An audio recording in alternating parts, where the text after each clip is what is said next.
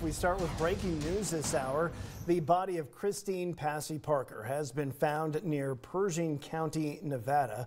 Her family made the announcement on Facebook, and Local News 8 has confirmed this information with the Lander and Pershing County Sheriff's offices. Parker was last seen August 6 in Battle Mountain, Nevada.